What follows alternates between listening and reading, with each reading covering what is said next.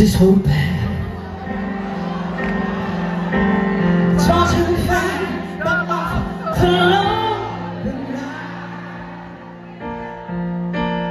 Maar je moet nu echt weer terug naar haar.